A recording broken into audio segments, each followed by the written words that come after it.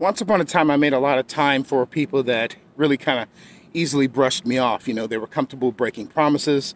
Um, you know, they really didn't show uh, a consistent respect for me.